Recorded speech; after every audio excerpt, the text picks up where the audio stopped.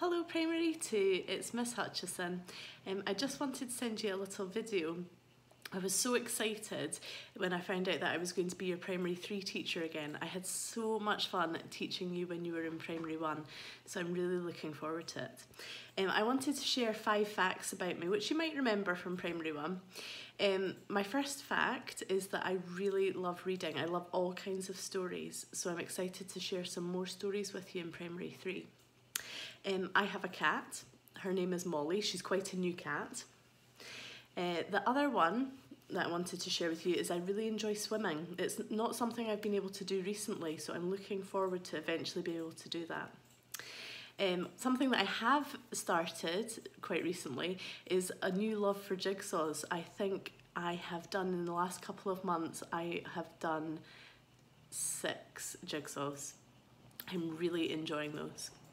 Um, and my last fact for you is that I really enjoy going to the theatre or going to the cinema.